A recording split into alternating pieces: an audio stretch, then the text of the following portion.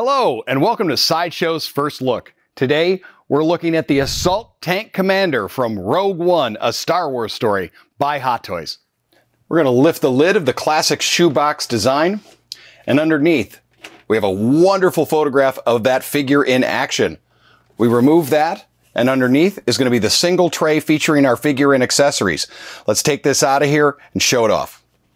The tray is going to have the Tank Commander figure, four additional hands, your wrist pegs, the E11 blaster. Underneath is the Rogue One inspired display base. Let's take all the pieces out of the tray. Here we have our figure, weapon holding hands, fists, the E11 blaster. Over to the display stand, it's the classic design with an overlay featuring the character as well as the wedge that slides right in front and continues that Rogue One design of the base let's highlight a few of the incredible design elements on the figure. First up, this helmet has always been a really neat one for me, where you're going to have kind of the intake and aerator going to be that kind of thin pressed design and it has the visor. The whole look of this helmet is very, very unique and a really cool design. They've done great weathering. You're going to see the nicks, the dirt and the grime all the way. And the helmet, when we spin it around to the side, you're going to get a great profile of that unique design insignia is there. Then when you turn it to the back, you really see that it kind of has a reminiscent look of the Vader helmet where it fans out uh, down onto the bottom. Working our way back onto the front of the figure, that battle damage is all the way into the chest armor, the belt, and everywhere else. We get a little hint of color with the red here.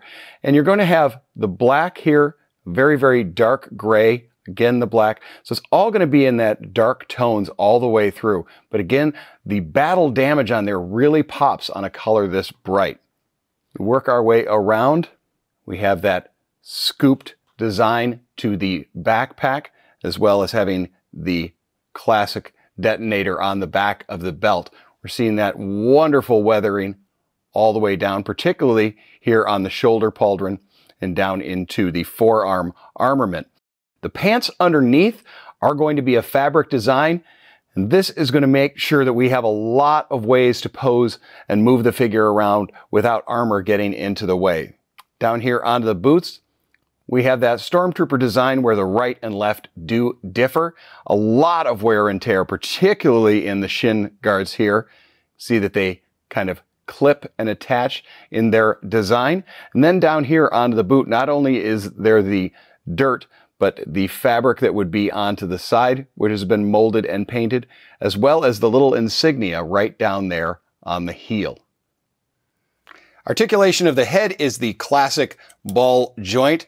We have a full range of motion. We also have the articulation there in the neck for a forward and back.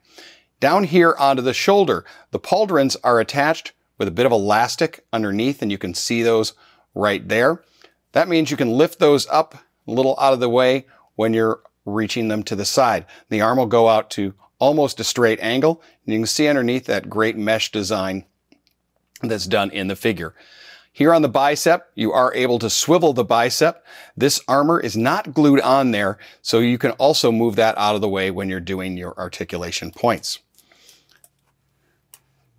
Straight in front and almost straight back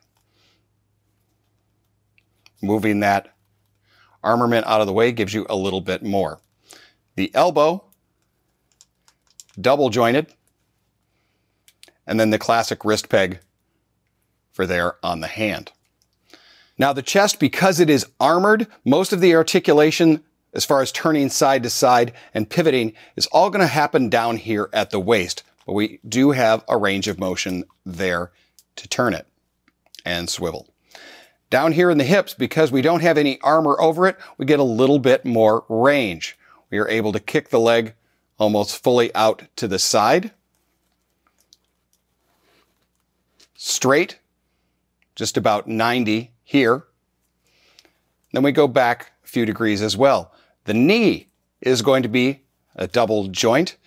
This armor, like what we have on the arm, is not glued in place, so you'll be able to adjust and close the gaps as I did right there with the foot whenever you're doing your posing. The joint right here on the foot is going to be the traditional roller ball. So I get a lot of range of motion right there on that. Time to put him in a few poses. This has been Sideshow's first look at the Assault Tank Commander from Rogue One, a Star Wars story by Hot Toys. For more information about this figure, follow the link below. Be sure to tune in to Unsealed and Revealed, where we have more fun with this figure. Thanks for watching, and don't forget to let your geek side show. Be sure to subscribe by hitting the S icon on your screen and click the bell icon to be notified whenever a new video is posted. If you'd like more info on the items featured in this video, click the link provided under product info. Thanks for watching, and don't forget to let your geek side show.